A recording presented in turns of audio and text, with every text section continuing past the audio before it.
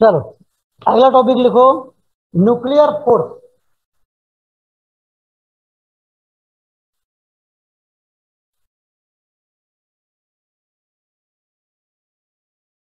लिखो nuclear force nuclear force क्या होता है? न्यूक्लियर फोर्स क्या होता है, हमें ये समझना है, ठीक है? तो आपको मैंने बताया था कि छोटे से न्यूक्लियस के अंदर में बहुत सारे प्रोटॉन्स होते हैं। क्या होते हैं? बहुत सारे प्रोटॉन्स होते हैं। और सारे प्रोटॉन पे पॉजिटिव चार्ज होते हैं। जो एक दूसरे को क्या करेंगे? एक दूसरे को रिपेल करेंगे। वो दूर होना चाहेंगे। लेकिन फिर भी सारे प्रोटॉन और न्यूट्रॉन आपस में कंबाइंड रहते हैं। उतने से उतने से न्यूक्लियस के अंदर रहते हैं तो वो कैसे रह पाते हैं? रिपल्सन के अगेंस्ट में। तो इसका मतलब ये हुआ कि ज़रूर कोई एक और फोर्स होना चाहिए जो उन रिपल्सन से भी स्ट्रॉन्ग अट्रैक्शन का फोर्स हो, जिससे कि प्रोटॉन प्रोटॉन और प्रोटॉन न्यूट्रॉन और न्यूट्रॉन न्यूट्रॉन को उतने से छोटे जगह में न्यूक्लियस के भीतर उसको एक दूसरे से बाइंड करके रख सकते हैं। ठीक है नहीं? ठीक है? वो फोर्स ज़रूर होना चाहिए। और उसी फोर्स को हम नाम देते हैं न्यूक्लियर फोर्स क्या नाम देते हैं उसको? न्यूक्लियर फोर्स जो न्यूक्लियस के भीतर सारे न्यूक्लियॉन्स को इलेक्ट्रोस्टैटिक रिपल्सन के बावजूद उसको आपस में बाइंड करके रखने का काम करता है, उस फोर्स को नाम देते हैं हम न्यूक्लियर फोर्स बात सुना गई तो मेक ए नोट लिख लो बाबू। लिख लो। लिख लो सभी लोग।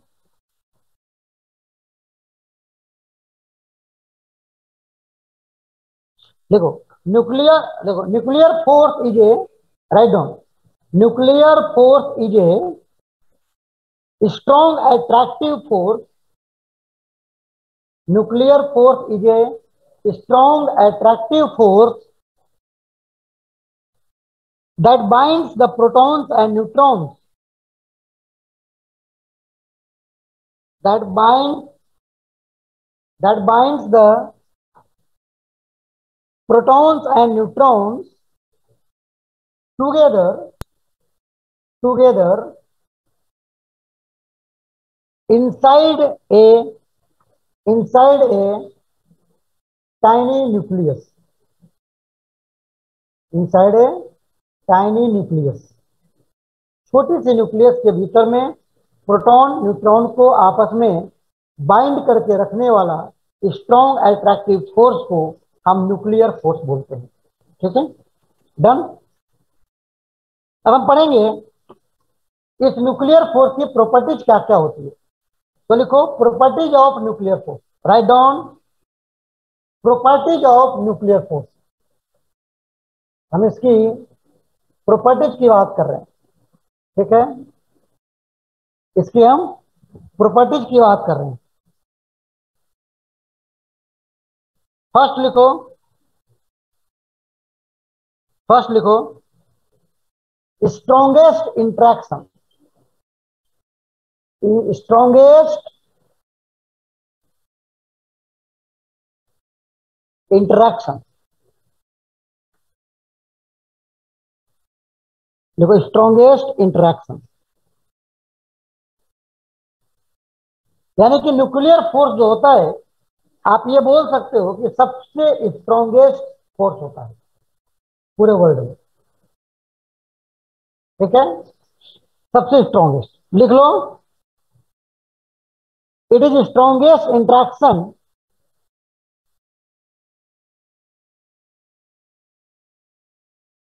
it is the strongest attraction force in the nature पूरे नेचर में ये सबसे स्ट्रॉन्गेस्ट फोर्स होता है। कैसे बोल सकते हो? कैसे बोल सकते हो? तो अगर मैं इसको कंपेरिजन कर दूँ तो ग्रेविटेशनल फोर्स इलेक्ट्रिक फोर्स और न्यूक्लियर फोर्स अगर मैं ये तीनों को कंपेयर करूँ तो ये पता क्या आता है? अगर तुम ग्रेविटेशनल फोर्स को वन रैंक देते हो तो electrostatic force ten to the power thirty six times ज़्यादा होता है। सोचो, अंदाज़ा लगा लो। इलेक्ट्रोस्टैटिक फोर्स ग्रेविटेशनल फोर्स से कितना स्ट्रांग होता है, वो यहाँ से क्लियर दिख रहा है। इतना ही नहीं, ये तो इलेक्ट्रोस्टैटिक की बात हुई। इससे भी स्ट्रांग फोर्स होता है न्यूक्लियर फोर्स और वो कितना होता है? वो इससे भी कम से कम सौ गुना ज़्यादा होता है, यानी कि ten to the power thirty eight times ten to the power thirty eight times होता है। ग्रेविटेशनल का। ठीक है? क्लियर है? तो nuclear force is really very strong force ठीक है? चलो सेकंड लिखो बाबू। देखो शॉर्ट रेंज फोर्स सेकंड लिखो शॉर्ट रेंज फोर्स अच्छा मैंने आइटम का होमवर्क दिया था पूरा दे दिया था? आइटम को होमवर्क दिया था पूरा? यस सर पूरा दे दिया था? यस सर एक्सरसाइज फोर तक यस सर सब लोग सबमिट कर दिया? यस यस यस अच्छी बात है। चलो अच्छी बात है। चलो लिखो शॉर्ट रेंज फोर्स लिखो short range force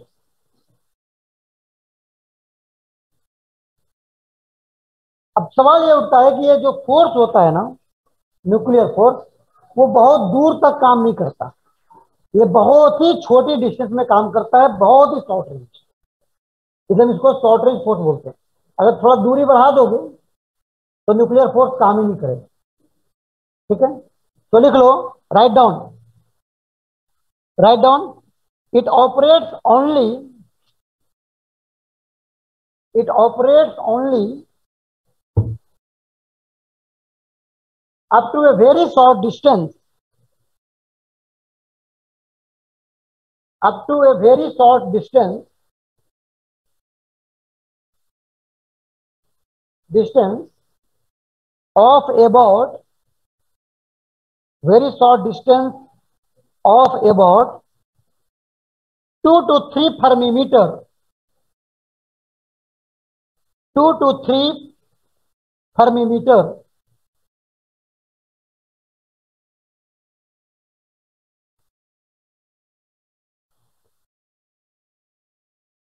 two two three fermimetre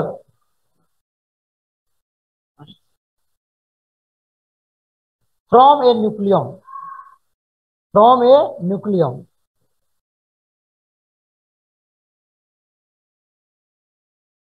Clear है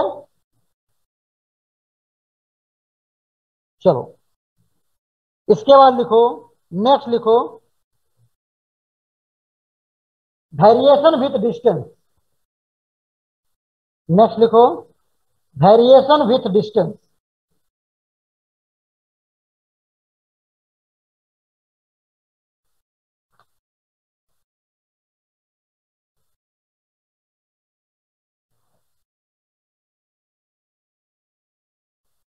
variation with distance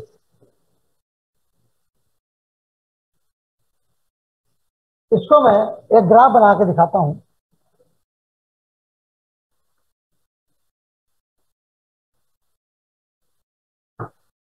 इसको मैं एक ग्राफ बना के दिखाता हूँ। ये आपका पोटेंशियल एनर्जी है और ये आपका डिस्टेंस है। ठीक है? अब आपको पता है आपको पता है कि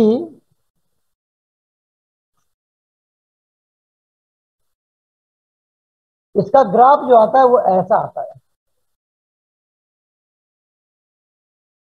ऐसा आता है। ठीक है?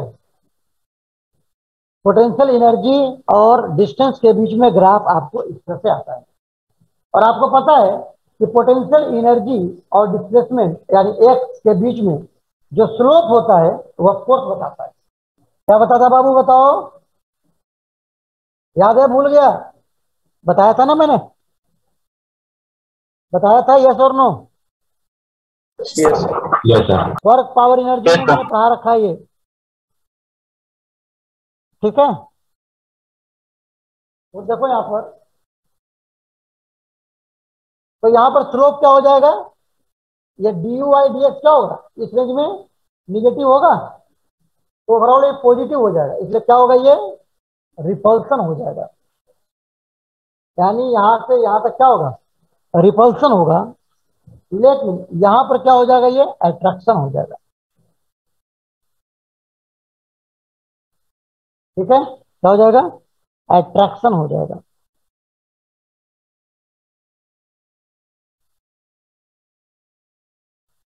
और ये जो आया है,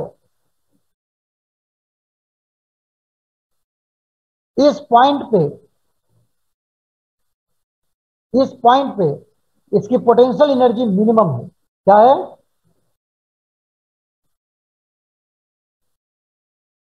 पोटेंशियल एनर्जी इसकी मिनिमम है। पोटेंशियल एनर्जी इसकी मिनिमम है। पोटेंशियल एनर्जी मिनिमम होने का मतलब क्या होता है? ये स्टेबल है यहाँ से अगर इससे तुम और नज़दीक लेके आते हो न्यूक्लियॉन्स को तो वो दोनों रिपेल करेंगे। और अगर इससे तुम दूर लेके जाते हो तो क्या होंगे वो? अट्रैक्ट करेंगे न्यूक्लियॉन यहाँ पर वो स्टेबल रहेंगे। ठीक है? यानी डिस्टेंस अगर क्लोज करते हो तो रिपेल करेगा। अगर दूर लेके जाते हो तो अट्रैक्ट करेगा। ठीक है? ये चीज़ें लिख लो। And this distance is called r naught this is called r naught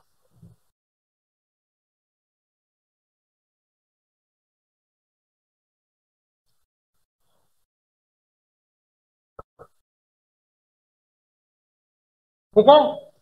चलो नेक्स्ट लिखो बाबू। फोर्थ पॉइंट लिखो इतना बोलो बोलो बोलो बोलो। सर इतना स्ट्रॉन्ग फोर्स कहाँ से आ रहा है उसमें? इतना स्ट्रॉन्ग फोर्स कहाँ से आ गया? ये स्ट्रॉन्ग फोर्स होता है है ना? क्योंकि ये न्यूक्लियस के भीतर होता है और ये क्या करता है?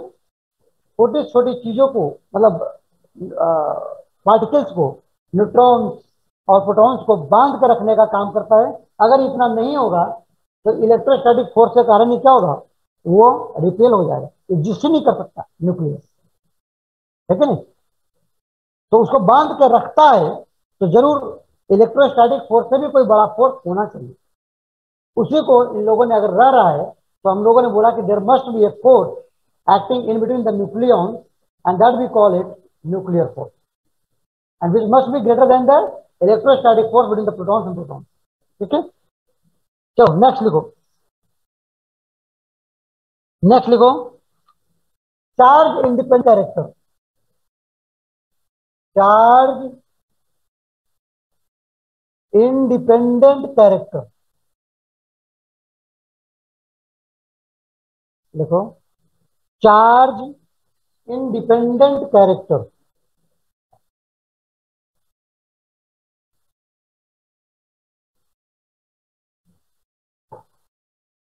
आज स्कूल नहीं था आराधना पर सानू भी तो नहीं है। सर था। हाँ कितने बजे तक? Sir ten ten o'clock अच्छा टेन ओ क्लॉक तक था? आप स्कूल नहीं गई? नो सर आज नहीं अच्छी बात है। चलो कोई नहीं। लिख दिया? चार्ज इंडिपेंडेंट कैरेक्टर ठीक है? चार्ज इंडिपेंडेंट का मतलब क्या होता है? चार्ज इंडिपेंडेंट का मतलब यह हुआ कि न्यूक्लियस के भीतर कुछ प्रोटॉन होंगे, कुछ न्यूट्रॉन होंगे। तो प्रोटॉन प्रोटॉन के बीच का फोर्स, न्यूट्रॉन न्यूट्रॉन के बीच का फोर्स, और प्रोटॉन, न्यूट्रॉन के बीच का फोर्स। जो न्यूक्लियर फोर्स होगा, वह यह डिपेंड नहीं करेगा कि प्रोटॉन प्रोटॉन के बीच लग रहा है, न्यूट्रॉन न्यूट्रॉन के बीच लग रहा है, या प्रोटॉन, न्यूट्रॉन के बीच लग रहा है। उससे कोई मतलब नहीं है। सारे के बीच में फोर्स सेम ही होता है। क्या होता है? सेम न्यूक्लियर फोर्स लगता है। बात आ बाबू? क्या लगता है? सेम न्यूक्लियर फोर्स लगता है। इसको मतलब नहीं है कि इससे पॉजिटिव चार्ज होता है या न्यूट्रल होता है, उससे भी फ़र्क पड़ेगा। नहीं। इससे कोई फ़र्क नहीं पड़ता। ठीक है? जैसे मैं यहाँ पे पढ़ाता हूँ आप लोगों को तो इसमें कुछ बॉयज़ हैं, कुछ गर्ल्स हैं। तो मैं ऐसा नहीं कि भाई, है ना बॉयज़ को ज़्यादा पढ़ा दिया गर्ल्स को कम पढ़ाया गर्ल्स को ज़्यादा पढ़ा दिया बॉयज़ को कम पढ़ाया। ऐसा कुछ नहीं है। ओपन है है ना? जो भी पढ़ाया जा रहा है सेम बैच में पढ़ाया जा रहा है। इक्वली इट डजेंट मैटर है ना? मैं क्या मानता हूँ आप लोगों को? न्यूक्लियंस मानता हूँ स्टूडेंट मानता हूँ। ऐसा नहीं बिल्कुल इक्वल पढ़ाता हूँ। वैसे ही यहाँ पर भी। चार्ज है या ना है उससे कोई मतलब नहीं है। ठीक है? इक्वल फोर्स लगता है न्यूक्लियंस में न्यूक्लियर फोर्स ठीक है? चलो, आगे बढ़ो। नेक्स्ट लिखो बाबू। नेक्स्ट लिखो फिफ्थ लिखो। सेचुरेशन इफ़ेक्ट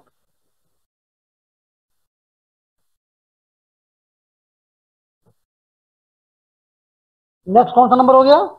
फिफ्थ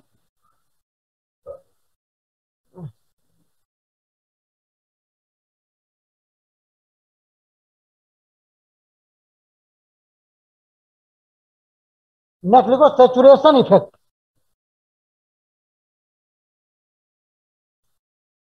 सेचुरेशन का मतलब क्या हो गया? ये जो न्यूक्लियर फोर्स लगता है, वो अपने बिल्कुल पास वाले न्यूक्लियस पे फोर्स लगाता है। ऐसा नहीं कि दूर वाले को भी लगाएगा नहीं, ऐसा नहीं लगाता है। जैसे फॉर एग्ज़ाम्पल अगर मैं बात करूँ तो ये मान प्रोटॉन है, और ये न्यूट्रॉन है, ये प्रोटॉन है।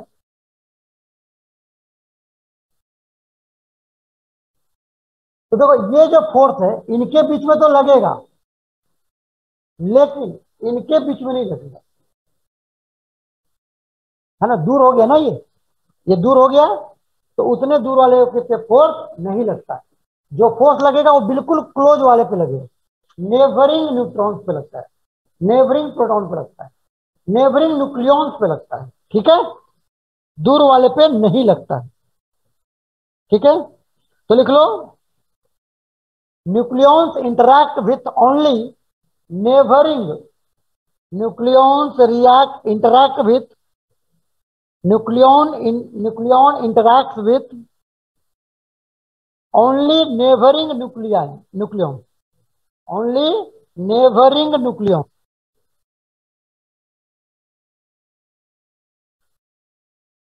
बात सुना गया चलो नेक्स्ट लिखो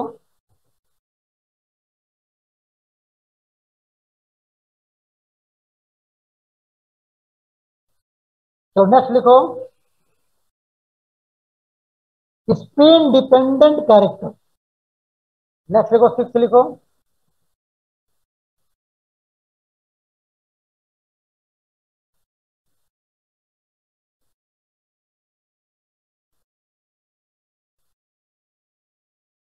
नेक्स्ट लिखो। Spin dependent character.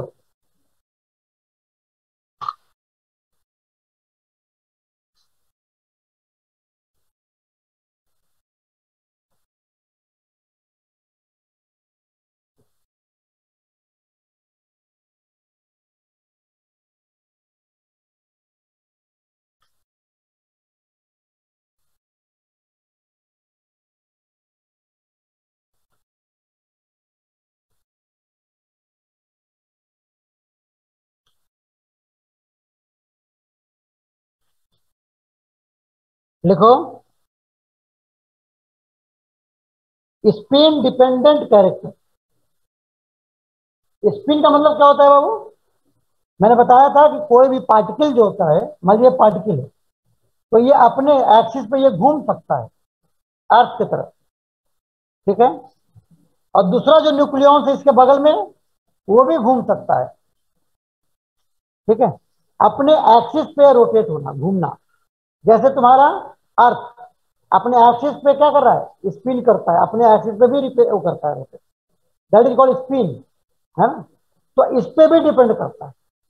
अगर दो नेबरिंग न्यूक्लियॉन्स अगर दो नेबरिंग न्यूक्लियॉन्स सेम डायरेक्शन में अगर ये क्लॉकवाइज है तो ये भी क्लॉकवाइज अगर ये एंटी क्लॉकवाइज है तो ये भी एंटी क्लॉकवाइज अगर स्पिन कर रहा है सेम डायरेक्शन में तो उसको हम बोलते हैं पैरेलल क्या बोलते हैं?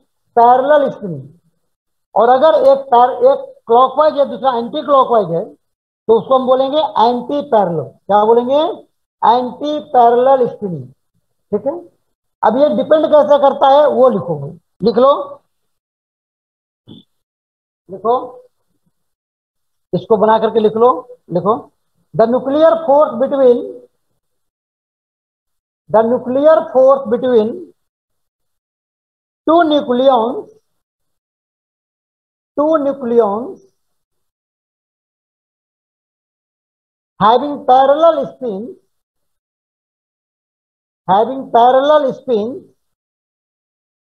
is stronger than parallel spins is stronger than that of between that of between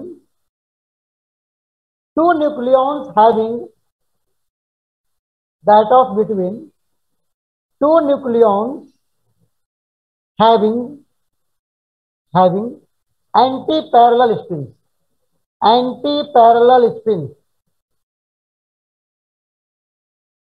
ठीक है अगर एंटी पैरल स्पिन्स अगर हैं तो उनके बीच में न्यूक्लियर फोर्स रिलेटिवली वीकर होगा, और अगर पैरेलल स्पिन है तो उनके, उन न्यूक्लियंस के बीच में न्यूक्लियर फोर्स रिलेटिवली स्ट्रोंगर होगा।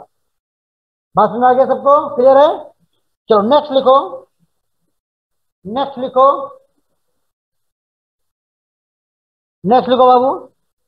एक्सचेंज फोर्सेस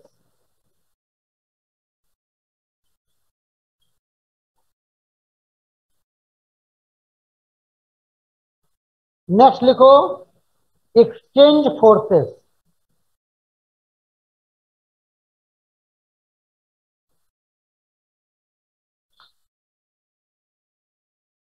एक्सचेंज फोर्सेस का मतलब यह होता है, एक जापानीज साइंटिस्ट था। क्या था? एक जापानीज साइंटिस्ट था। जापानीज साइंटिस्ट का नाम था युकावा क्या नाम था? युकावा युकावा ने बताया कि दो न्यूक्लियंस के बीच में जो न्यूक्लियर फोर्स होता है, उसका रीजन ये होता है कि न्यूक्लियंस के बीच में न्यूक्लियंस के बीच में एक्सचेंज ऑफ़ पार्टिकल्स होता है, स्मॉल पार्टिकल्स। क्या होता है? एक्सचेंज ऑफ़, क्या होता है बाबू?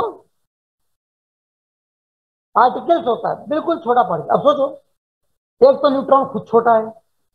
न्यूट्रॉन की बात छोड़ो यार। न्यूक्लियस ही छोटा है। न्यूक्लियस से छोटा न्यूट्रॉन्स है।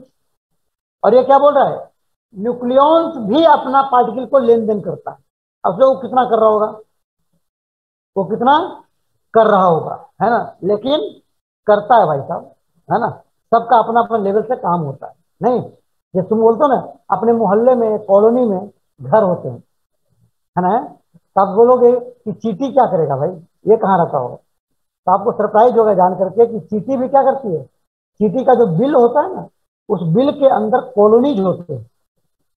उनका अपना अपना घर होता है।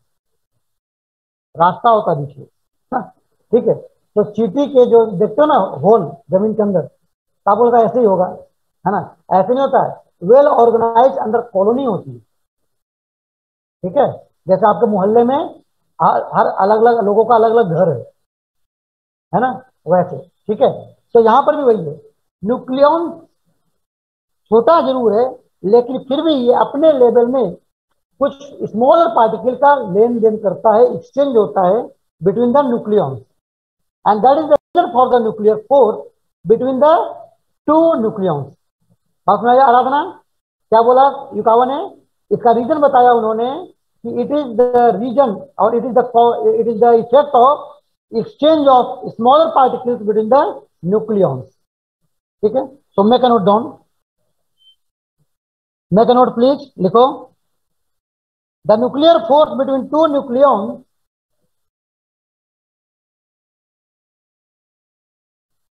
the nuclear force between two nucleons arises from between two nucleons arises from the constant exchange of arises from the constant exchange of particles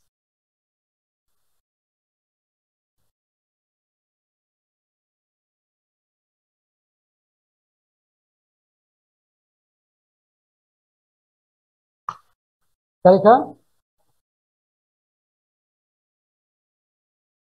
Constant exchange of particles called nucleons uh, called mesons उस particle छोटे से particle का नाम बोलते हैं हम मेजॉन्स क्या नाम देते हैं इस छोटे से पार्टिकल का नाम देते हैं हम mesons mesons between them mesons between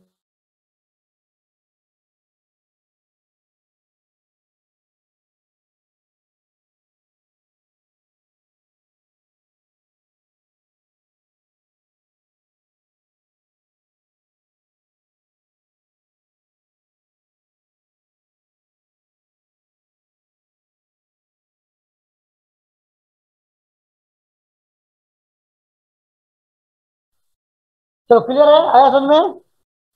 ये बोला था सेवेंथ एट्थ लिखो eighth non central forces eighth लिखो. एट्थ लिखो.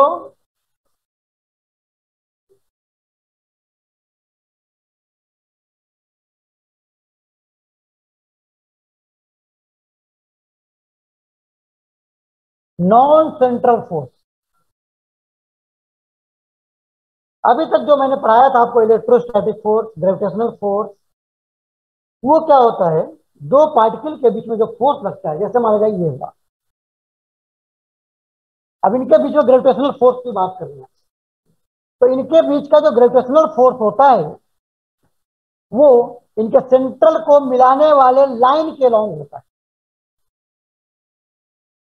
बात सुना गई? है ना? क्या होता है? पार्टिकल के सेंटर को मिलाने वाली लाइन के एलोंग फोर्स लगता है।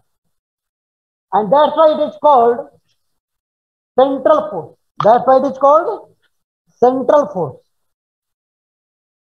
लेकिन न्यूक्लियॉन्स के बीच में जो न्यूक्लियर फोर्स लगता है, ये ज़रूरी नहीं कि वो सेंटर के लॉन्ग लगे। ये फोर्स न्यूक्लियर फोर्स इधर से भी लग सकता है। इधर से भी लग सकता है। समझ में? क्लियर है? नॉन सेंट्रल फोर्स ये कैसे भी लग सकता है। नॉट कंपल्सरी यहाँ से लगे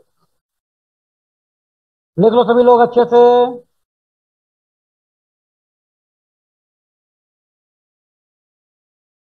सब लोग उतार लो बाबू फास्ट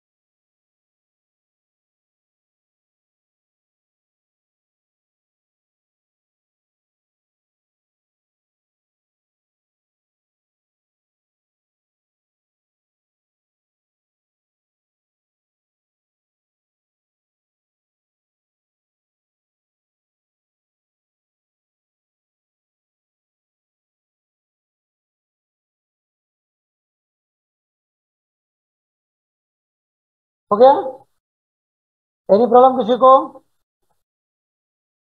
तो ये था हमारा प्रॉपर्टीज़ ऑफ़ न्यूक्लियर फोर्स ये क्या था हमारा? ये था हमारा प्रॉपर्टीज़ ऑफ़ न्यूक्लियर फोर्स ठीक है? नाउ नेक्स्ट टॉपिक हम आगे बढ़ते हैं। नेक्स्ट टॉपिक लिखो मास डिफेक्ट नेक्स्ट टॉपिक लिखो मास डिफेक्ट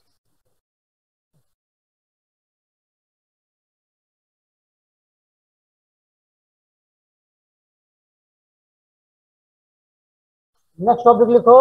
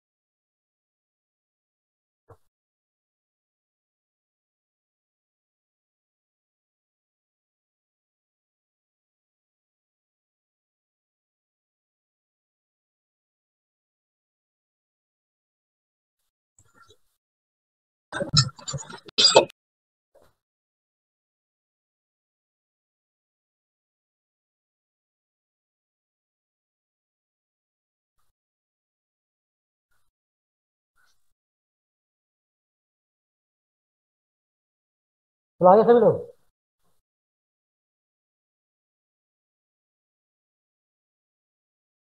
अरे रूपम, वहाँ पे पता चला, वहाँ पे और जो कोचिंग क्लासेस हैं तो वहाँ पे कोर्स कहाँ पहुँच गया है? हम लोग पीछे तो नहीं है?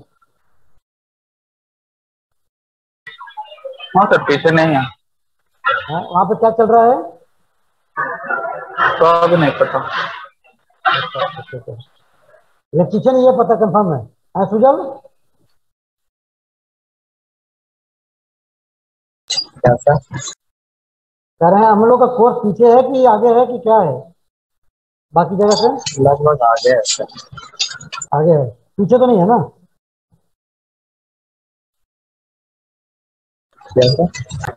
पीछे नहीं है ना? पीछे नहीं है ना? वेरी गुड अच्छी बात। और उसका कोर्स कहाँ पे चल रहा है? उससे बात हो रहा है? साहुल नाथ से तो है कहाँ पहुँचा वहाँ पे? मैग्नेटिक। खत्म हो गया इलेक्ट्रोमैग्नेटिक अभी वहाँ पे है यहीं यहाँ पे मानपुर में ही है कि कोटा में चला गया? चल गया। वेरी गुड अच्छी बात है। वेरी गुड तो उसका जो क्वेश्चन आता है वो तुम लोग बना पाते हो कि नहीं बना पाते हैं?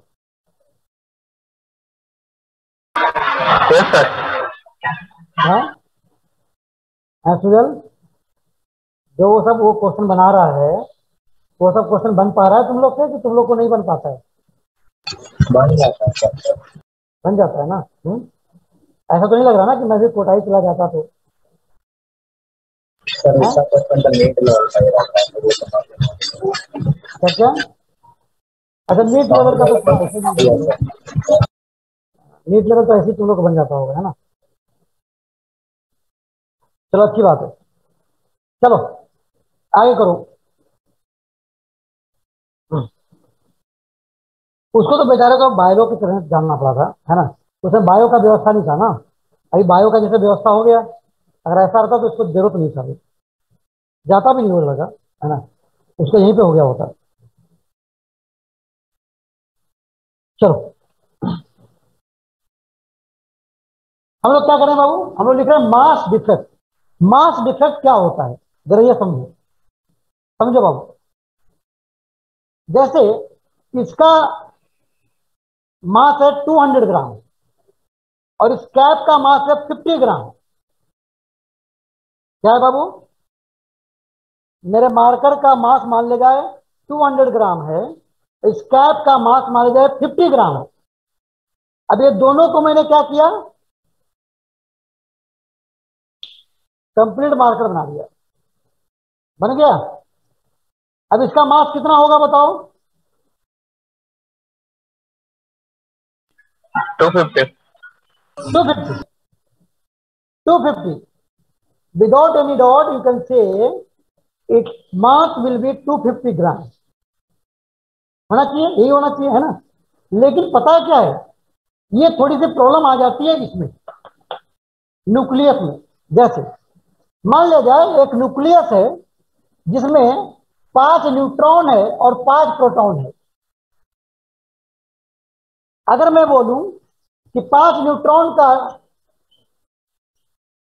500 ग्राम मास है, ठीक है? और पाँच प्रोटॉन का मास है 470 gram. For example for example समझने में आसानी हो। तो अगर इन दोनों को मिला करके न्यूक्लियस में डाल दूँ तो मास कितना हो जाना चाहिए बताओ बाबू? कितना हो जाना चाहिए? कितना हो जाना चाहिए बाबू? हैं? कितना होना चाहिए? नाइन सेवेंटी फास्ट बोलो बेटा। फास्ट बोलो जैसे लग रहा है कि समेसन भूल गया। है जोड़ खड़ा भूल तो नहीं गया। कितना हो गया बोलो नाइन सेवेंटी ग्राम होना चाहिए कायदे से। कितना होना चाहिए? 970 ग्राम हो जाना चाहिए। होना चाहिए लेकिन पता क्या है? जब हम प्रैक्टिकली देखते हैं इसको तो देखा गया कि भाई ये 970 नहीं है। ये निकला 968 ग्राम फॉर एग्ज़ाम्पल क्या हुआ? 500 ग्राम 470 ग्राम को जब मिला करके न्यूक्लियस के अंदर रखा गया तो कायदे से होना चाहिए था 970 बच्चा भी बोल देगा। लेकिन क्या हुआ? जब ये मिक्स होकर के न्यूक्लियस के अंदर न्यूक्लियस बन गया तो क्या हो गया? इसका मास निकल के आ रहा नाइन सिक्सटी एट ग्राम ये कैसे संभव है? लेकिन ये रियली होता है। आया में? तो ये भाई साहब, ये टू ग्राम कहाँ चला गया? ये टू ग्राम कहाँ चला गया? है ना? टू ग्राम का क्या हो गया? लॉस हो गया यहाँ पर। लॉस हो गया। इसी को बोलते हैं मास डिफेक्ट। इसी को बोलते हैं मास डिफेक्ट। यानी मास में डिफेक्ट आ गया। मास कांस्टेंट रहना चाहिए था। लेकिन यहाँ पर क्या हो गया? कुछ मास कम हो गया। इसी को बोलते हैं मास डिफेक्ट। ठीक है? तो क्या हो गया बाबू? आप लिखोगे यहाँ पर minus delta M is equal to, क्या लिखोगे? M I minus M S. लिखोगे ऐसा? ऐसा लिखोगे या नहीं लिखोगे? लिखोगे? हम्म? और ये माइनस क्या दिखा रहा हूँ बाबू मैं? माइनस क्या दिखा रहा है? माइनस दिखा रहा है लॉस इन मास और इसी को बोलते हैं mass defect mass defect is equal to minus delta M is equal to M I minus M F ठीक है? अब ये कैसे लिखेंगे?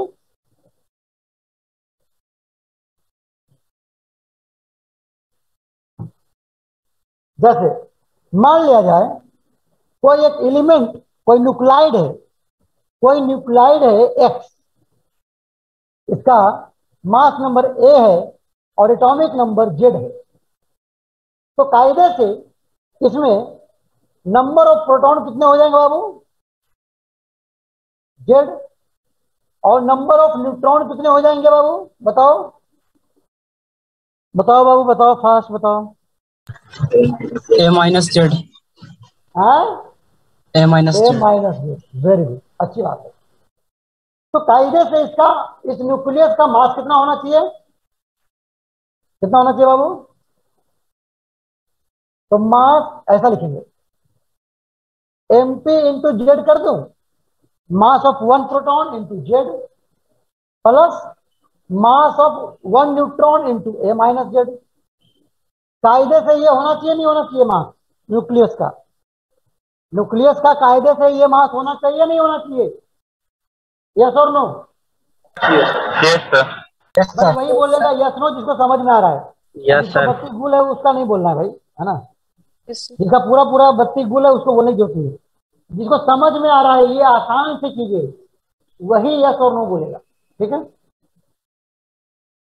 तो बाबू क्लियर है? होना चाहिए कायदे से। न्यूक्लियस का मास कितना होना चाहिए? दोनों को मिला करके होना चाहिए। होना चाहिए? लेकिन पता है क्या होता है? एक्चुअल न्यूक्लियस का मास जब दो, दोनों को मिला करके जब फाइनली हम वज़न करते हैं तो वो क्या निकलता है? वो इससे थोड़ा सा कम निकलता है। उसका मास क्या निकलता है बाबू? एम निकलता है। और इन दोनों के सम से थोड़ा कम निकलता है। ठीक है? तो ये डिफरेंस को हम बोलेंगे माइनस डेल्टा एम यानी कि मास डिफेक्ट बोलेंगे। क्या बोलेंगे बाबू? इसी को हम बोलेंगे मास डिफेक्ट बोलेंगे। क्या बोलेंगे इसको? इसको बोलेंगे हम मास डिफेक्ट बोलेंगे। क्लियर है? एनी प्रॉब्लम किसी को भी? किसी को भी any problem up to here उतार लिया?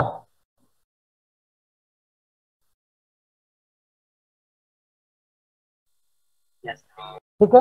अब सवाल ये उठता है कि सर ये मास जो कम हो गया ये कौन बंदर खा गया भाई? मास कम हो गया। तो ये ब, ये मास गया कहाँ? तो मैंने आपको बताया था आइंस्टाइन का मास एनर्जी रिलेशनशिप। पढ़ाया था ना? क्या पढ़ाया था? Delta M into C square.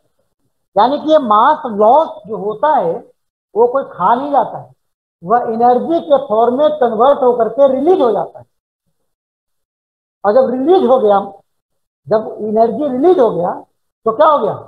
इनके बीच में बाउंडेशन बढ़ गया। मैं बोला था ना, जब कुछ खर्चे हो जाते हैं, जब कुछ खर्चे हो जाते हैं तो बिज़नेस क्या होता है? स्ट्रांग हो जाता है। बताया था? मैं फिर से बताता हूँ।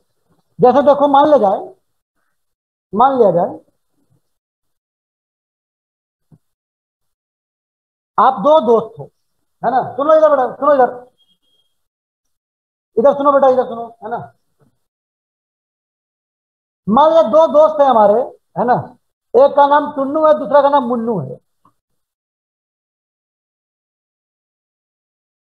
क्या नाम बाबू? जगह तो हंस रहा है। तो क्या नाम नहीं बताओ? है? सीमा और आशिका? है कैसे। है। अब है? है? अभय और। अब और किसके साथ? बाबू देखो इधर। मान लो दो दोस्त हैं टुन्नू एंड मुन्नू। ठीक है? अब दोनों ने क्या किया? मान लो जाए बोला भाई चलो बिज़नेस करते हैं यार। ठीक है भाई? दोनों मिल गए। बिज़नेस स्टार्ट है ना? अब मान लो जाए दोनों ने बोला भाई एक काम करेंगे five lakhs five lakhs contri करेंगे हम लोग। क्या करेंगे? Five lakhs five lakhs contri करेंगे। ठीक है? और बिज़नेस स्टार्ट करेंगे। अब दोनों आए मीटिंग के लिए सीसीडी पे। कहाँ पे? सीसीडी समझते सीसीडी नहीं। है? कोई बात नहीं। कोई भी होटल में मिल लो, है ना? है? तो हाँ। हाँ हाँ, सही बोला है ना? चलो वो याद नहीं है तो पिज्जा हट बोलो है ना? पिज्जा हट दोनों मिल लिए। ठीक है? हम्म? मीटिंग हुई भाई साहब है ना? लेकिन पिज्जा नहीं खाई इन लोग। एक कोक मंगा लिया छोटा सा छोटा वाला। ओनली कोक है ना? अब बात बात में ऐसा हुआ बात करते करते बात बिगड़ गई। तो क्या हुआ? मान लीजिए इसको लगा कि भाई हमको बिज़नेस नहीं करना चाहिए। तो टुल्लू ने क्या बोला? भाई ऐसा करो ये कोक का पैसा मैं दे देता हूँ दोस्तियारी पे, बात खत्म करो। बिज़नेस नहीं होगा। दोनों उठ के घर चले गए, कोई दिक्कत नहीं। है ना? कोई प्रॉब्लम नहीं है उसमें। बिज़नेस क्या हुआ? ये बिज़नेस डील बहुत आसानी से टूट गया। है ना? कोक का खर्चा किसी ने उठा लिया, चलो यार मैं देता हूँ, दोस्त तो है। क्या हो गया? है ना? बिज़नेस डील टूट गया। लेकिन लेकिन लेकिन है ना? अब अगला दोस्त फिर से आए दूसरे अच्छे अच्छे दोस्त। अब बताओ रोहित क्या नाम बताया था तूने? अभय और? है कौन? है? बिंदु? गुड्डू गुड्डू। अच्छा गुड्डू। ये तो भाई जिगरी दोस्त है इन लोग है ना? ये तो बिज़नेस चलेगा चलेगा। है। ना ये तो बिज़नेस चलेगा चलेगा। इसमें फेल होने का कोई चांस ही नहीं है। अब क्या हुआ? दोनों आए, है ना? दोनों ने बोला, भाई बिज़नेस करते हैं, है ना? इन पिज्जा उज्जा सब खा लिए। पिज्जा उज्जा खाने के बाद गए ऑफ़िस में, है ना? अब पूरा सब खरीद लिए, पूरा। क्या खरीद लिए उन लोग? है ना? Furniture document file printer laptop है ना? ठीक है? दो एप्पल का लैपटॉप लेके आ गए यूएसए से मंगवा लिए, है ना? दो बड़ा बड़ा एप्पल का फ़ोन, मोबाइल फ़ोन मंगवा लिए, ठीक है? मिला जुला के खर्चा हो गया इनका, फोर लैक्स खर्च हो गया भाई। कितने हो गए? फोर लाख खर्च हो गए। ठीक है? बाकी जो बचा इनके पास सिक्स लाख वो कैपिटल बच गया बिज़नेस फ्लो करने के लिए। अब इन लोगों ने बोला, किसी का मूड एक दिन खराब हो गया। कि भाई ये काम करते यार छोड़ो यार, मुझसे नहीं हो रहा ये फालतू का काम। है ना? ये नहीं चल पाएगा। है ना? ठीक है, हैं? गुड्डू बोला, भाई मैं तो जा रहा हूँ बॉलीवुड है ना? ये छोटा मोटा बिज़नेस मैं नहीं कर रहा। ठीक है, हैं? अभय ने क्या बोला? भाई चला जा। गुड्डू बोला, पैसे? बोला, पैसे तो लग गए भाई चार लाख रुपए। है ना? अब एक काम करो एप्पल का लैपटॉप बेच दो। चार लाख का सामान एक लाख में बिकेगा। सेकंड हैंड, है ना? चार लाख का सामान, एक लाख में बिक जाएगा। उसका पचास पचास रुपये कर लेंगे कॉन्ट्री आपस में बांट लेंगे, चले जाओ। कितना लॉस हो जाएगा बाबू? है? इसमें पूरा लॉस दिख रहा है सबको, है ना? ढाई लाख का लॉस हो जाएगा। कितना? ढाई लाख, कितना हो जाएगा? पचास हज़ार तो मिल जाएगा। हम्म? डेढ़ लाख का लॉस हो जाएगा। अगर डेढ़ लाख की बात सुना, गुड्डू ने तो बोलता है, भाई, ऐसा है, डेढ़ लाख नुकसान हो जाएगा। एक काम करो, थोड़ा बिज़नेस और चलाते है। ना? डेढ़ लाख नुकसान क्यों से आठ दस दिन के अंदर में इतना तो हम कमाते भी नहीं है। ना? तो क्या हुआ? अब ये आसानी से बिज़नेस नहीं टूट रहा है। क्यों? क्योंकि इतना पैसा लॉस हो चुका है इन्वेस्ट हो चुका है, कहीं लग चुका है। अब ये बिज़नेस आसानी से नहीं टूटेगी। क्यों? क्योंकि लॉस दिख रहा है साफ़ साफ़ है ना? अब ये ये बिज़नेस तभी टूटेगी ये बिज़नेस तभी टूटेगी, है ना? जब सीमा और श्रेया दोनों आके बोलते हैं कि भाई तुम लोग दोनों फ्री हो जाओ, ये पूरा ऑफ़िस मुझे दे दो, हम दोनों संभाल लेंगे। अब पूरा चार लाख जो तुम्हारा नुकसान हुआ है तो चार का चार लाख मैं तुम्हें दे देती हूँ। तो टूट जाएगा, है ना? फिर तो फटाफट, है ना? फिर तो एक मिनट लगे, नहीं लगेगा, सीधा टिकट बुक करेगा फ़्लाइट का, गुड्डे सीधा बॉम्बे नज़र आएगा है ना? बॉम्बे से हेलो करेगा हाँ। आई मीन बॉम्बे नहीं, एक मिनट नहीं लगेगा। लेकिन कब? जब ये चार लाख सीमा और श्रेया मिलके इनको दे देते हैं तब। है ना? क्यों श्रेया? दे दोगी है? बोले पूरी ऑफ़िस मुझे दे दो, जो खर्चा हुआ हम दे देंगे। टेंशन नहीं हम लोग आगे बढ़ाएँगे इसको। तो उन लोग की बिज़नेस टूट सकती है। बात सुना रही है? तो जानते सवाल यहाँ पर क्या हो रहा है? यहाँ पर कहने का मतलब ये हो रहा है कि ये जितना ज़्यादा लॉस होता है बिज़नेस डील टूटने में उतनी ही प्रॉब्लम होती है। क्योंकि लॉस ज़्यादा होने का डर है। आसानी से आदमी अलग अलग नहीं होना चाहता। ठीक वैसे ही इसमें भी होता है। अगर न्यूट्रॉन और प्रोटॉन दोनों मिलकर के एक न्यूक्लियस बना दिए हैं, और ये इसके बनने में मास डिफेक्ट ज़्यादा हो गया है, यानी एनर्जी का लॉस ज़्यादा हो गया है तो ये इतने आसानी से नहीं टूटने वाले। ये न्यूट्रॉन प्रोटॉन आसानी से अलग नहीं हो सकते हैं, वो न्यूक्लियस ही रहेगा, कंबाइंड ही रहेगा, वो बिज़नेस आगे बढ़ेगा बढ़ेगा। ये अलग होना टफ है, क्योंकि तो बहुत ज़्यादा लॉस हो गया। थोड़ा मोड़ा होता तो हो जाता है। लेकिन ज़्यादा होने से क्या होता है, वो उतना ही क्या हो जाएगा? उतना ही वो जो दोस्ती है, जो बिज़नेस डील है, वो उतना ही वो स्ट्रांग होता है। कहने का मतलब ये हुआ कि जितना ज़्यादा मास डिफेक्ट उतना ही ज़्यादा स्ट्रांग बिज़नेस डील उतना ही ज़्यादा न्यूक्लियस क्या होगा? वो स्ट्रांग होगा। होगा नहीं होगा? सीमा समझ में आई बातें? हैं? पक्का? श्रेया चांदनी क्लियर है? पिंकी? है? जितना Yes, ज़्यादा लॉस हो जाएगा उतना ही ये स्ट्रॉन्ग न्यूक्लियस बनाएँगे। उतना आसानी से टूटने वाला नहीं है है ना?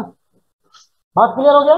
अब जरा सवाल यहाँ पर यह उठता है कि ये जो मास डिफेक्ट हुआ है ये मास डिफेक्ट जो हुआ है, ये कौन दिया है? मान जिसमें पाँच न्यूक्लिय इसमें जेड नंबर ऑफ़ प्रोटॉन्स है और A minus Z number of neutrons है और मास लॉस कितना हुआ है? डेल्टा एम तो डेल्टा एम कौन देगा, बताओ? डेल्टा एम कौन देगा? तो भाई डेल्टा एम क्या है? ये लॉस है, ये बिज़नेस का लॉस है। है ना? ये कोई तुमको बर्थडे पार्टी नहीं दे रहा है कि भाई सब मिलके दोस्त लोग खा लिया, अब पैसा कौन देगा? जिसका बर्थडे है। है ना? बर्थडे बॉय कहा है भाई? पेमेंट करो। है ना? बिल आ गया। है ना? ये ये कब होता है? ये पार्टी में होता है। ये पार्टी नहीं है, ये बिज़नेस डील है। यहाँ पे जितना खर्चा होगा, जितने लोग रहेंगे, उससे भागा पड़ेगा। है ना? मान लीजिए बिल आ गया भाई पाँच सौ रुपये का। लड़के कितने हैं? पाँच। पाँच सौ divide by five hundred rupees contri करो भाई साहब। बिल देना है। है कि नहीं है? यहाँ पर क्या होता है? ये काउंट्री पार्टी है बिज़नेस है। तो यहाँ पर क्या होगा? अगर डेल्टा एम मास का लॉस हुआ है पूरे न्यूक्लियस में तो इस मास डेल्टा एम खर्च करने वाले कितने लोग हैं? कितने लोग हैं बाबू? न्यूक्लियस में कितने लोग हैं? नंबर ऑफ़ न्यूक्लियन कितने होते हैं? ए के बराबर, मास नंबर के बराबर, है ना? यानी डेल्टा एम जो मास लॉस हुआ है, वो कोई एक पर्टिकुलर न्यूट्रॉन या पर्टिकुलर प्रोटॉन पूरा खर्च नहीं किया है। वो सभी लोगों ने थोड़ा थोड़ा मास को कंट्रीब्यूट किया और वही लॉस हुआ है। तो डेल्टा एम मास का लॉस हुआ है ए नंबर ऑफ़ न्यूक्लियॉन्स के कारण। और सभी लोग कॉन्ट्री किए हैं। तो एक लोग कितना कॉन्ट्री किया? तो total loss divide by A इसको बोलते हैं, इसको बोलते हैं बाबू, क्या बोलेंगे इसको? इसको बोलते हैं पैकिंग फ्रैक्शन इसको बोलते हैं पैकिंग फ्रैक्शन समझ में आ गया? है? तो तुम अभी भी गुड्डू और अभय में लगा हुआ है। भाई पढ़ाई हो रही थी, पढ़ाई, है ना? जब करते करते हम पढ़ा देंगे, टेंशन नहीं। क्या हो गया बाबू?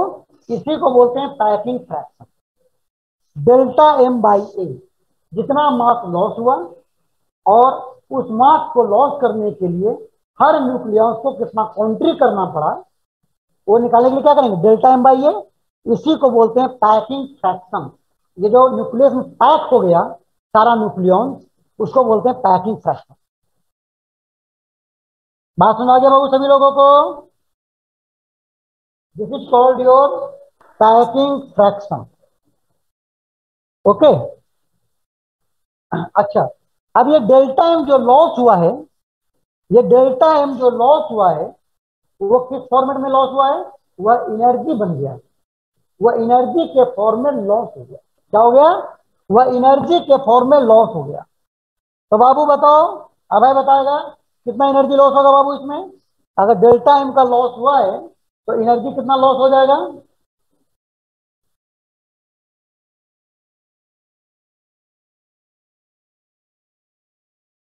भूल गया।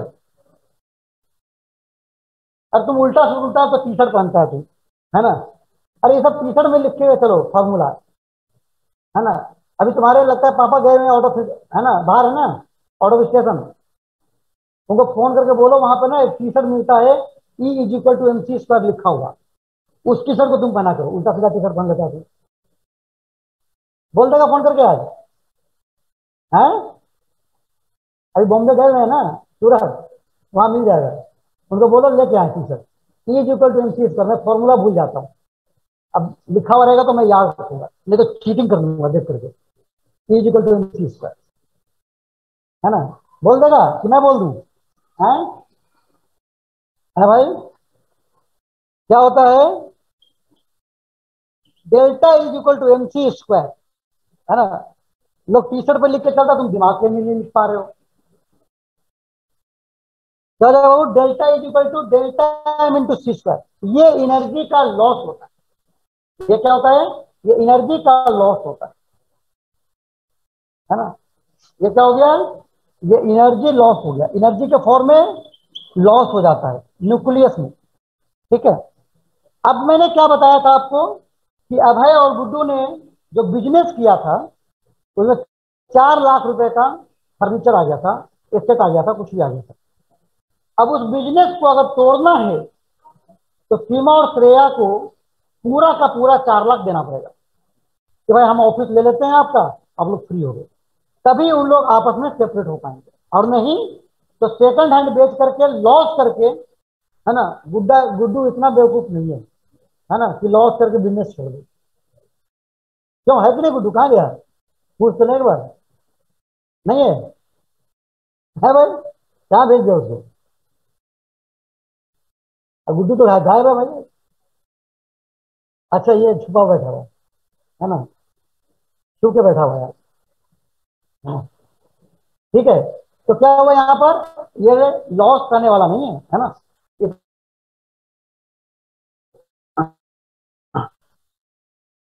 तो क्या करना? इनर्जी लॉस जो हुआ है, ये पूरा पूरा अगर पैसा दे देती है सीमा सीमा तब तो बिज़नेस तोड़ दे पैसा बांट के अलग हो जाए, है ना? तो क्या होता है बाबू? ये जो इनर्जी लॉस है, ये जो इनर्जी लॉस है, यही रीजन है बिज़नेस डील को आगे बढ़ाने का और तोड़ने का, है ना?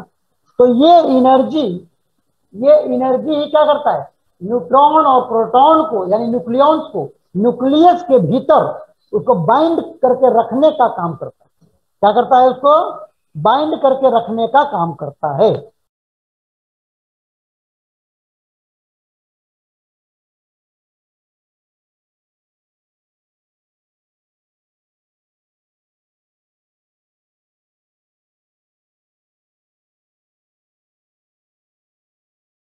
हाँ तो क्या हुआ बाबू ये जो एनर्जी लॉस हुआ है इसी के कारण यही एनर्जी न्यूक्लियॉन्स को आपस में बाइंड करके रखने का काम कर रहा है। इसलिए क्या मैं इसको बाइंडिंग एनर्जी बोल दूँ? अगर ऐतराज ना हो तो। इस एनर्जी को मैं बाइंडिंग एनर्जी बोल दूँ? अगर आप लोगों को ऐतराज ना हो तो। है ना? तो ये जो एनर्जी लॉस हो रहा है इसी को हम बोलते हैं बाइंडिंग एनर्जी उसको इंडिकेट करेंगे delta E into B delta E foot में बी लिखो स्मॉल बी बी मतलब बाइंडिंग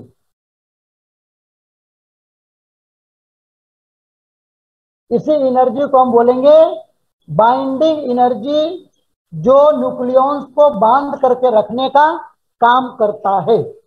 अगर इतना एनर्जी दे दोगे, तभी वो न्यूक्लियस से प्रोटॉन न्यूट्रॉन या न्यूक्लियॉन सारे अलग अलग हो पाएँगे। अदरवाइज़ वो अलग नहीं होंगे वो न्यूक्लियस के अंदर ही रहेंगे। This is called binding energy this is called binding energy ठीक है? अब सवाल यहाँ पर यह उठता है, अब सवाल यहाँ पर यह उठता है बाबू, कि ये बाइंडिंग एनर्जी ये एनर्जी कौन दिया? तो आपने पहले ही पढ़ रखा है कि भाई ये बिज़नेस डील है।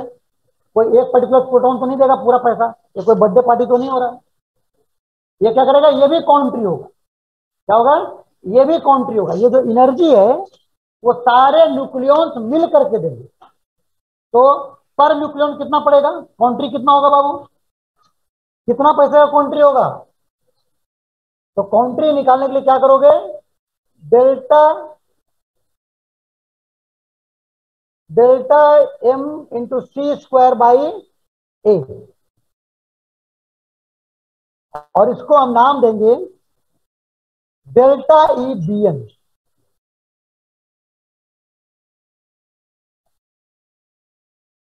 क्या नाम देंगे इसको? इसको हम नाम देंगे डेल्टा ई बी एन इसको हम बोलेंगे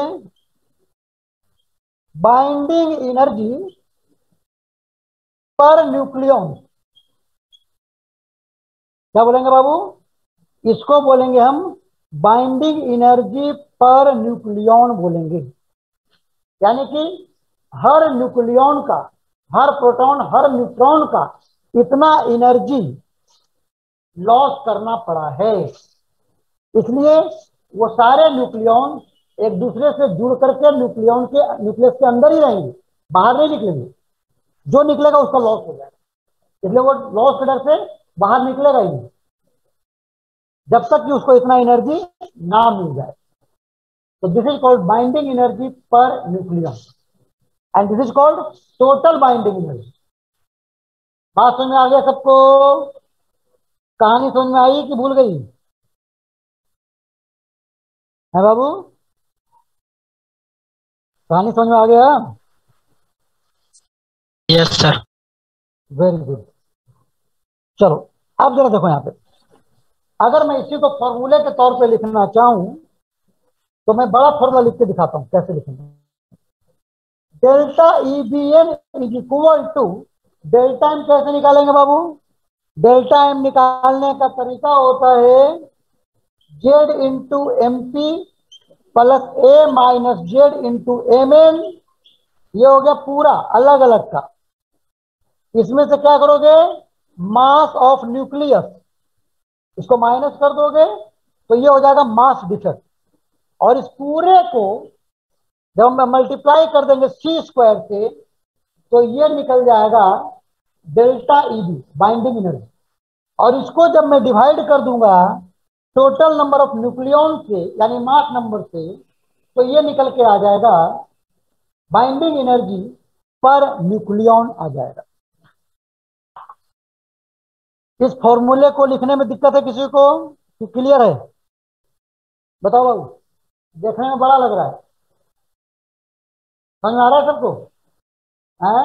अवीन समझ आया? Yes sir Kiran Chandni? Yes, sir. समझ आ रहा है? हैं? स्नेहा? जितेश? धीरज? समझ आ रहा है बाबू? Yes sir Akshay? हैं। रवि? यस सर हाँ ध्यान दो बाबू ध्यान दो। क्लियर हो गया? तो ये हो गया आपका डेल्टा ईवी है ना? इसको बोलते हैं बाइंडिंग एनर्जी पर न्यूक्लियॉन हम बोलते हैं। क्या बोलते हैं? बाइंडिंग एनर्जी पर न्यूक्लियॉन हम बोलते हैं।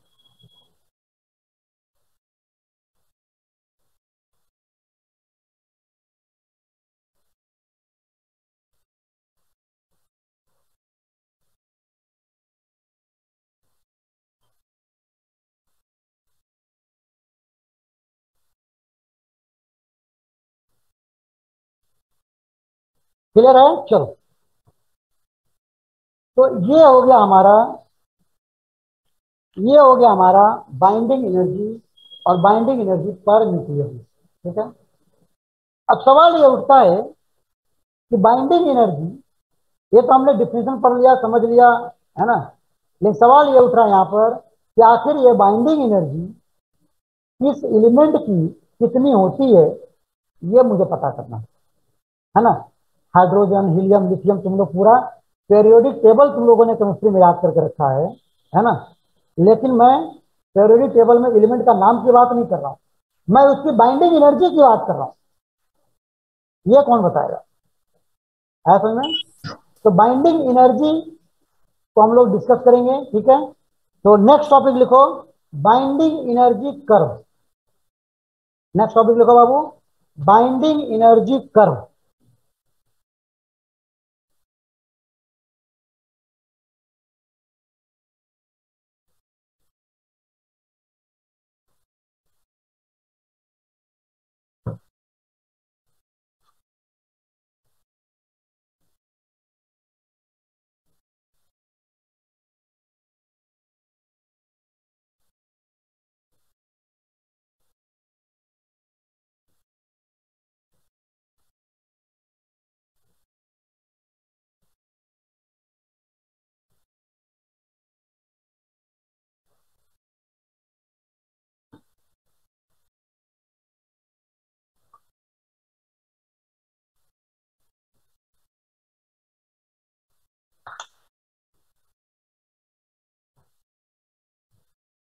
यस तो क्या हो गया हमारा?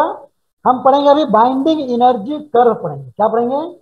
बाइंडिंग एनर्जी कर्व पढ़ेंगे। ठीक है? यानी कि हम हर एलिमेंट का बाइंडिंग एनर्जी के बारे में चर्चा करेंगे। ठीक है? तो बाबू, मैं ग्राफ बना रहा हूँ। ठीक है? ये हो गया मास नंबर इधर हो गया। इधर हो गया मास नंबर और इधर हो गया आपका binding energy per nucleon delta EBn है ना? मेगा इलेक्ट्रॉन वोल्ट में मैं ले रहा हूँ। यानी कि यानी कि अलग अलग मास नंबर का बाइंडिंग एनर्जी क्या क्या होगा, मैं इसकी चर्चा कर रहा हूँ। बात सुना गया? क्लियर है? ठीक है? तो देखो, इसका जो ग्राफ आता है, इसका जो ग्राफ आता है, वो देखो कैसा आता है, मैं वो समझा रहा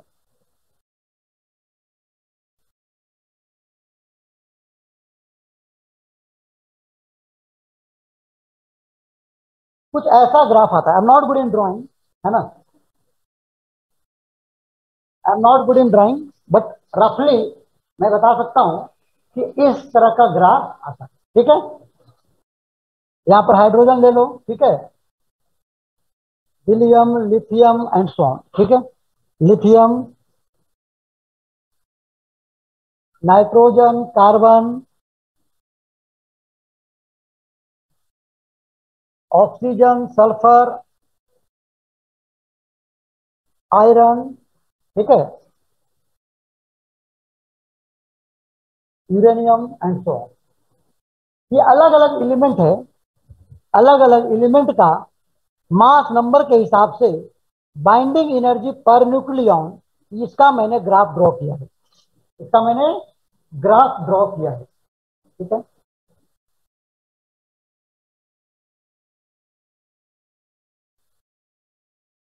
भाई, सभी लोग वीडियो ऑन करके बैठेगा पढ़ाई के मूड में। मैं बार बार बोल रखा हूँ कि ये आपको जो मैं पढ़ा रहा हूँ, ये केवल और केवल फिजिक्स में काम नहीं आएगा। केमिस्ट्री में भी काम आएगा। ठीक है?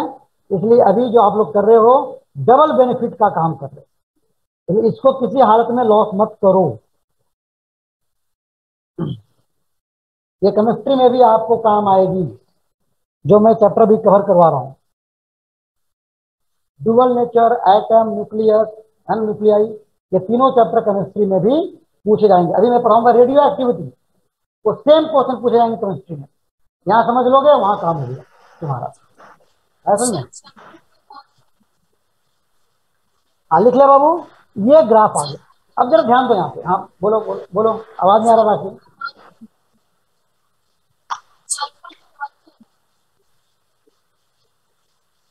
टाइप करो। चलो। क्या हो गया यहाँ पर? ये देखो क्या है आयरन है। ये सबसे ऊपर का मतलब क्या हो गया? सबसे ऊपर का मतलब ये हो गया कि इसके बाइंडिंग एनर्जी पर न्यूक्लियन सबसे ज़्यादा है। ऐसा बोल सकता हूँ? आयरन देखो क्या ऊपर साइड पे, है ना?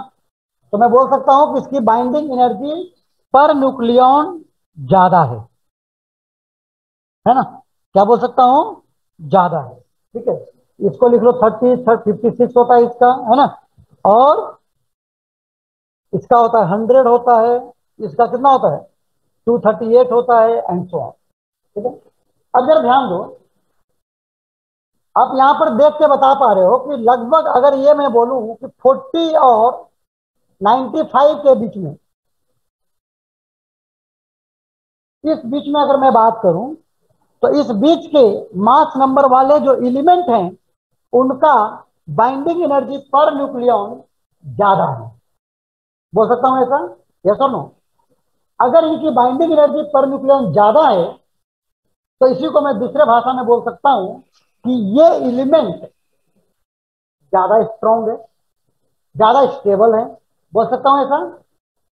है भाई, जिसकी बाइंडिंग एनर्जी ज़्यादा, वो मोर स्टेबल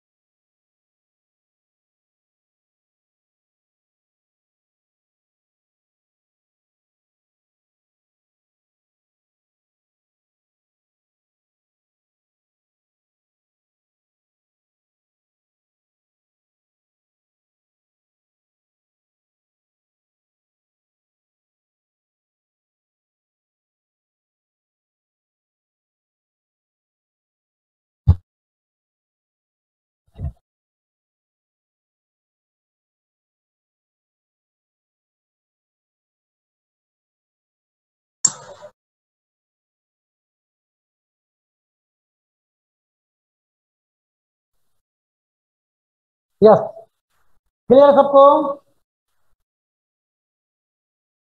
हाँ क्या मैं बोल रहा था बताओ? मैं ये बोल रहा था कि लगभग मैं बोलूँ कि 40 और 95 के बीच वाले जो एलिमेंट हैं, वो उनकी बाइंडिंग एनर्जी पर न्यूक्लियन बहुत ज़्यादा है मैक्सिमम टाइप का। तो उसी को मैं दूसरे भाषा में बोल सकता हूँ कि इनकी स्टेबिलिटी ज़्यादा है। जिसकी बाइंडिंग एनर्जी जितना ज़्यादा, उतना ही वो स्टेबल होंगे। उतना ही क्या होंगे? उतना ही वो ज़्यादा स्टेबल होंगे। तो इनकी स्टेबिलिटी क्या होगी? ज़्यादा होगी। ठीक है?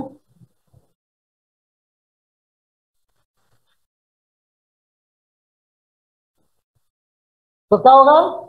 ये क्या होगा? ये मोर स्टेबल होंगे। क्या होंगे ये? ये सारे एलिमेंट मोर स्टेबल होंगे। क्या होंगे? इनके बीच वाले जो एलिमेंट होंगे, वो मोर स्टेबल होंगे। ठीक है? अच्छा। अब सवाल ये उठता है, सवाल ये उठता है कि ये तो लेस स्टेबल हो गए, इनके नीचे वाले सारे, और इनके बाद वाले भी सारे क्या हो गए? लेस स्टेबल तो ये क्या हो गए? लेस स्टेबल और ये भी क्या हो गए? यहाँ भी लेस स्टेबल हो गए तो लेस स्टेबल कौन रहना चाहता है भाई आज के जमाने में? है ना? है? तुम लोग भी लेस स्टेबल नहीं रहना चाहते। हैं? नहीं, तुम लोग भी चाहते हो कि भाई आईआईटी हो जाए यूएस में नौकरी लग जाए, बढ़िया सेटल हो जाए। मोस्ट स्टेबल हो जाए है ना? दो चार फरारी ले लूँ, दो चार दोस्तों को भी गिफ्ट कर दूँ। नहीं है? क्यों नहीं? है? सब लोग चाहता है है ना? अभय भी चाहेगा कि मैं तो है ना एप्पल का लैपटॉप फरारी सब गिफ्ट कर दूँ। नहीं। और अभय अभय अगर जो स्टेबल हो गया तो किसी को प्राइवेट जेट भी गिफ्ट कर देगा। नहीं भाई? है? तो क्या चाहता है? हर कोई चाहता है स्टेबल होना। नहीं। क्या चाहता है? हर कोई चाहता है स्टेबल होना। तो इन लोग बेवकूफ़ थोड़े ना इन लोग भी चाहेगा स्टेबल हो जाए। लेकिन स्टेबल कैसे होगा?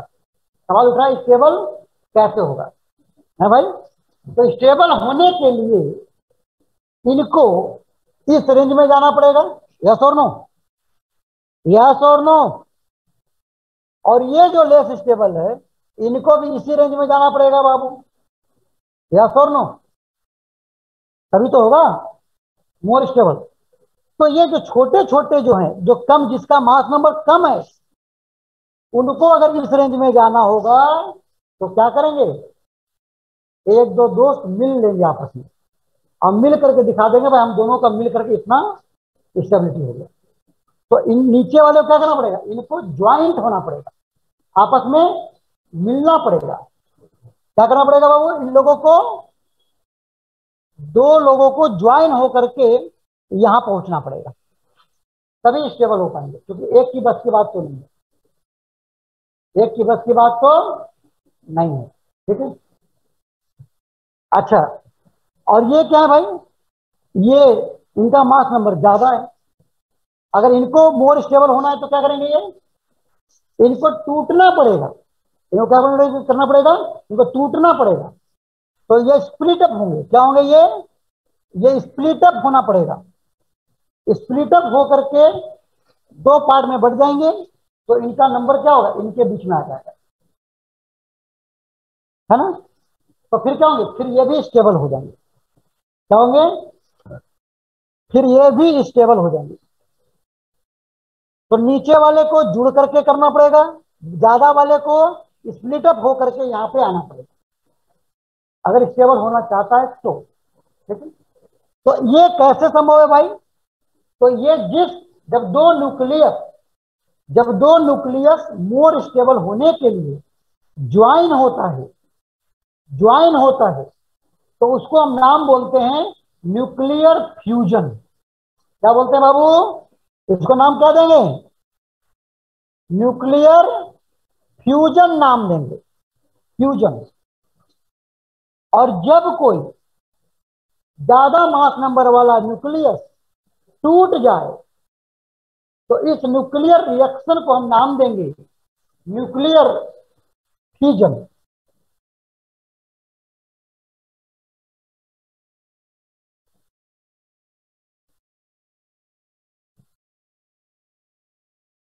क्या बाबू। Nuclear fusion and nuclear fusion समझ गया? समझ गया? क्या हो गया? Nuclear fusion and nuclear fusion है समझ में? क्लियर है? अब बताओ, ये याद रहेगा मिस कर देगा। फ्यूजन को फ्यूजन में नहीं मिला देगा ना भाई? हैं? है भाई? गुड्डू बताएगा एक ना, ऐसा कोई पीने वाला भी आता है फिज क्या बोलते हैं उसको? फिज होता है कोई? फिज होता है फिजिक क्या होता है भाई? हैं? आता है ना छोटा सा बोतल में?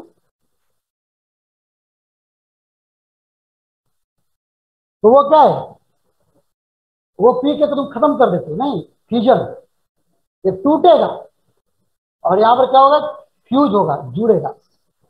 Nuclear fusion and nuclear fusion समझ आया बात? क्लियर है? आगे बढ़े, चलो।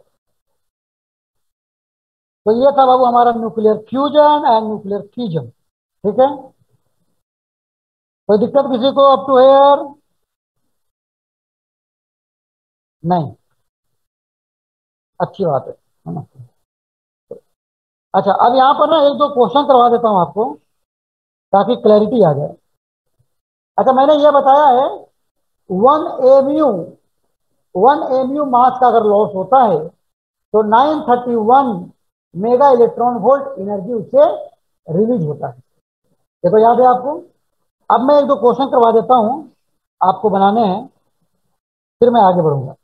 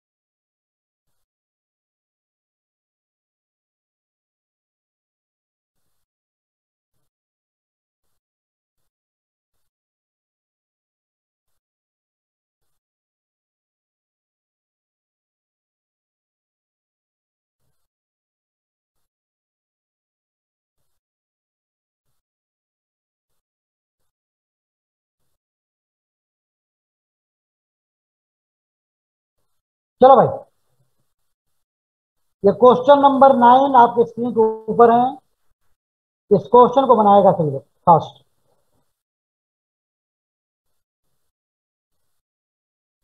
क्वेश्चन नंबर नाइन बनाएगा।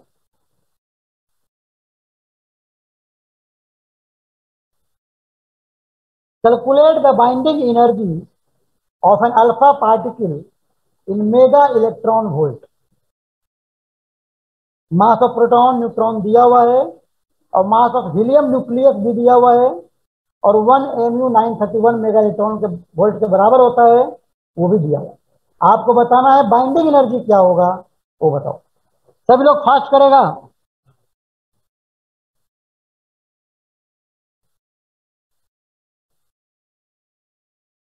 Question number nine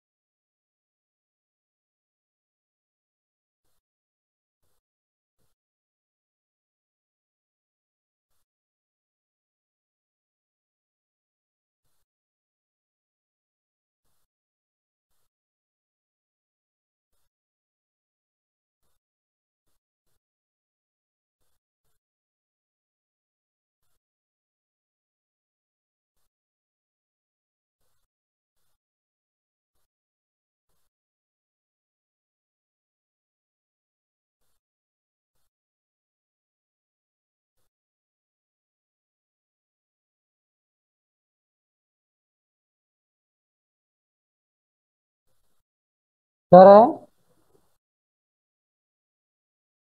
twenty eight mega electron volt सभी लोगों को आ गया, है? Question number nine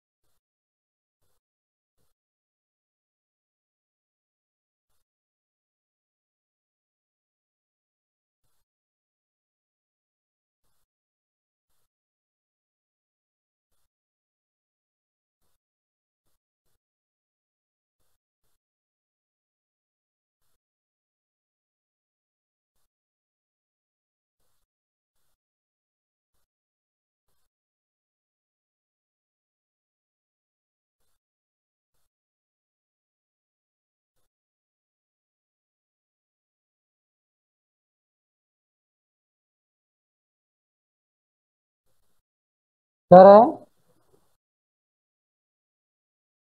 Twenty eight mega electron volt सभी लोगों को आ गया। है? जिसको जिसको ट्वेंटी एट आया है उसका आंसर हंड्रेड परसेंट करेक्ट है। यस यस सर आ गया। आ गया बाबू सभी लोग को? हम्म? आ गया? बहुत अच्छी बात बहुत अच्छी बात। हाँ। कैसे निकालेंगे? जिसको नहीं आया, मैं समझा देता हूँ एक बार।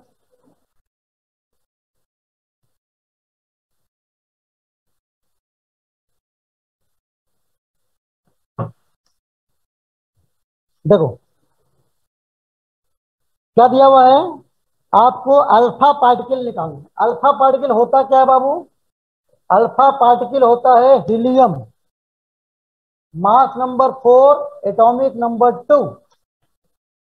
है ना? और इसमें से क्या करते हैं? इसमें से क्या करते हैं बाबू, बताओ? दो इलेक्ट्रॉन को निकाल देते हैं तो ये क्या बन जाता है? Two plus. इसी को बोलते हैं अल्फ़ा पार्टिकल। यानी कि इसमें इसमें क्या होता है?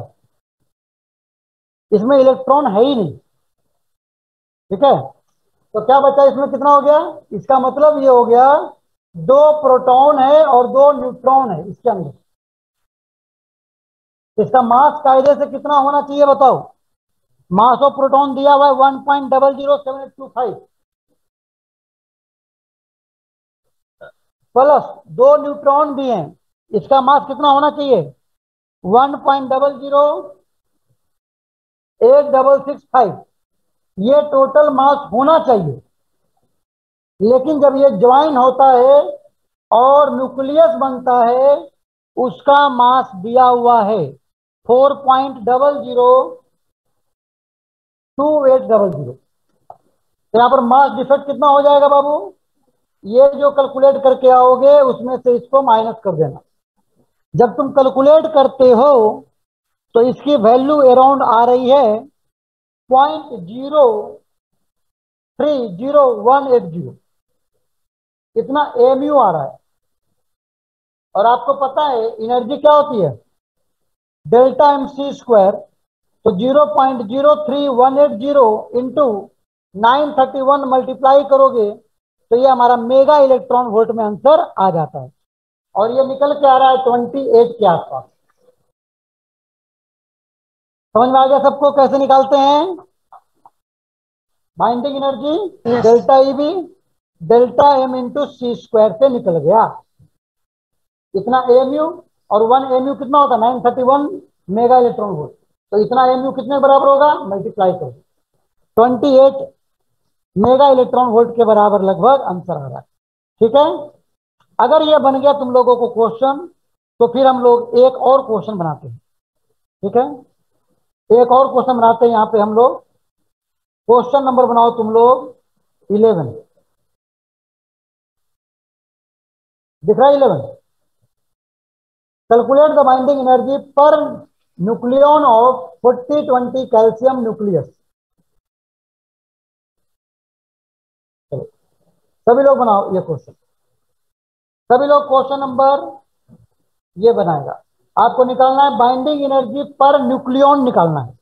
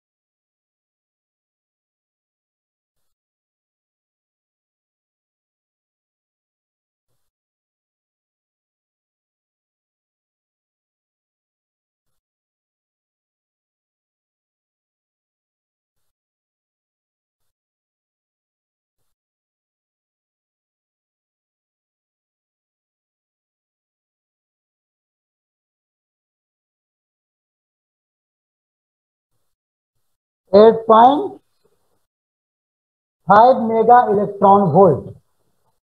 बाकी लोगों का? यस सर सेम आया सेम आया और बाकी लोगों का?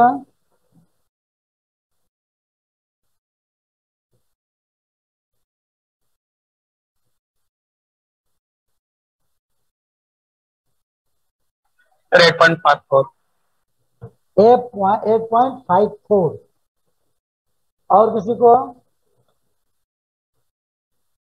Eight point five four seven M A भी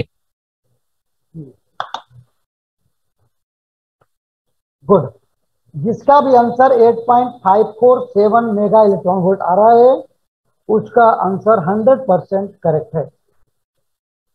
उसका आंसर 100 परसेंट करेक्ट है। ठीक है? समझ आ गया सभी लोगों को?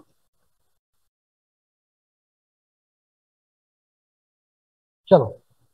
आ। गया आगे बढ़े हम लोग। चलो। हाँ। नेक्स्ट लिखो। नेक्स्ट लिखो नेक्स्ट लिखो। न्यूक्लियर स्टेबिलिटी एंड अनस्टेबिलिटी लिखो। Nuclear stability and instability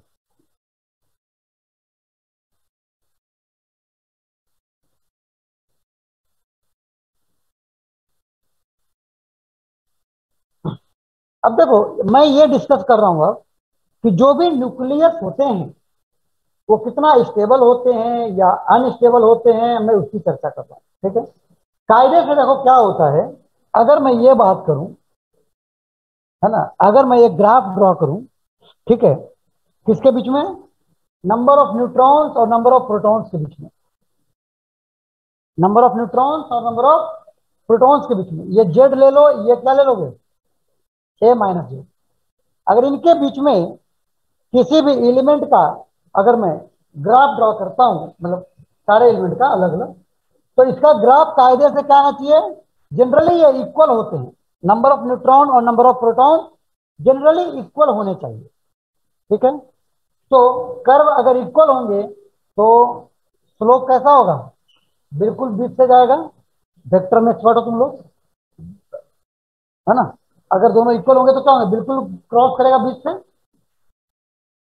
45 degree बनाते हुए। लेकिन पता है क्या होता है? एक्चुअली ये वाला ग्राफ होता नहीं है। होना ये चाहिए, लेकिन होता नहीं है। ठीक है? होता क्या है? कुछ हद तक तो यहाँ से जाता है, यहाँ तक। इसके बाद क्या होता है? ये ग्राफ थोड़ा न्यूट्रॉन एक्सिस के तरफ़ बेंट हो जाता है। इसका मतलब क्या हुआ? इसका मतलब सीधा सीधा यह मतलब हुआ कि यहाँ तक तो नंबर ऑफ़ प्रोटॉन न्यूट्रॉन बराबर होते हैं, लेकिन जैसे जैसे एटॉमिक नंबर बढ़ता जाता है, उसमें नंबर ऑफ़ न्यूट्रॉन बढ़ता जाता है। स्टेबिलिटी के लिए उसमें number of neutrons number of proton से ज़्यादा होते हैं। क्यों ज़्यादा होते हैं भाई साहब? क्यों ज़्यादा होते हैं? तो इसको समझने के लिए मैं एक बेसिक लॉजिक समझाता हूँ कि अगर मान लिया जाए एटॉमिक नंबर पाँच है तो उसमें नंबर ऑफ़ प्रोटॉन कितने होंगे? फाइव होंगे। फाइव होंगे। तो उस न्यूक्लियस के भीतर में पाँच प्रोटॉन ठीक है? अब क्या होगा? सारे प्रोटॉन पे पॉजिटिव चार्ज है। तो अगर मैं एक प्रोटॉन की बात करूँ इसको तो क्या करेगा? इस प्रोटॉन को इस प्रोटॉन को चारों प्रोटॉन मिलकर के इसको क्या करेंगे? रिपेल करेंगे। तो भाई न्यूक्लियस से बाहर हो जाते क्या करेंगे? ये चारों प्रोटॉन मिलकर के इस बेचारे अकेला प्रोटॉन को क्या करेंगे? बाहर करने की कोशिश करेंगे, भाई तू बाहर हो जा, न्यूक्लियस से। लेकिन हम लोगों ने यह भी पढ़ रखा है कि न्यूक्लियर फोर्स बहुत स्ट्रांग होता है। है ना? तो न्यूक्लियर फोर्स की वजह से इन चारों प्रोटॉन का रिपल्सन काम नहीं आएगा, है ना? न्यूक्लियर फोर्स स्ट्रॉन्गर होने की वजह से इस प्रोटॉन को बाहर निकलने से बचा लेगा। अच्छी बात है। अच्छी बात है। बचा लिया तो बचा लिया। लेकिन लेकिन लेकिन, यही अगर हाइयर एटॉमिक नंबर हो जाए, जैसे हंड्रेड अब हंड्रेड में क्या होगा बाबू? इसमें हंड्रेड प्रोटॉन होंगे। तो अगर मैं एक प्रोटॉन्स की बात करूँ तो बाकी 99 प्रोटॉन इसको क्या करेंगे? रिपेल करने की कोशिश करेंगे। तो पाँच प्रोटॉन, चार प्रोटॉन की जो रिपल्सन था, वो तो बेचारे ये झेल गया। लेकिन यहाँ पर 99 प्रोटॉन का रिपल्सन कौन झेलेगा? ठीक है नहीं? ये तो टफ हो गया काम। यहाँ तो भारी हो जाएगा भाई साहब।